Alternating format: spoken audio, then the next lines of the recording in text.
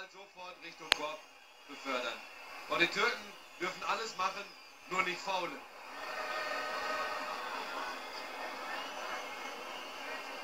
Mein Gott, ist das Endkriminal.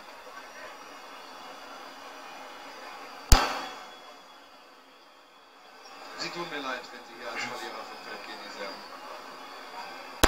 Aber es ist natürlich auch nicht unverdient für die Türken, überhaupt keine Frage. Das war ein Spiel auf Augenhöhe. Die Serben über die längste Zeit der Partie immer wieder vorn. Meist so mit vier bis sechs, sieben Punkten. Dann der Lauf der Türken. Dann Velickovic, dann Tuncheri und jetzt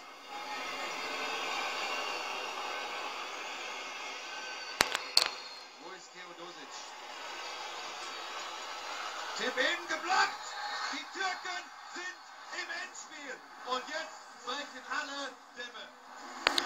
Und die Serben, bei allem türkischen Jubel sollen wir nicht vergessen, die haben eine super Leistung mit ihrer Mannschaft hier im gesamten Turnier abgeliefert. Er ist natürlich fürchterlich enttäuscht.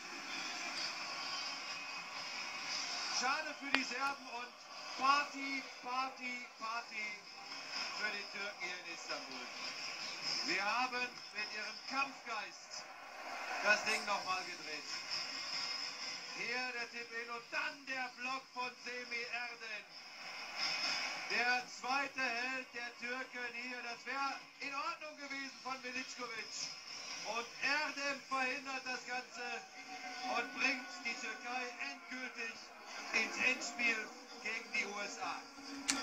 Noch Fragen zum Thema Spannung beim Basketball? Also, morgen 20.15 Uhr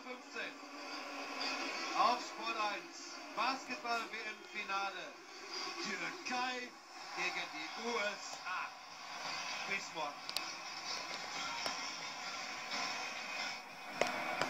Die Bas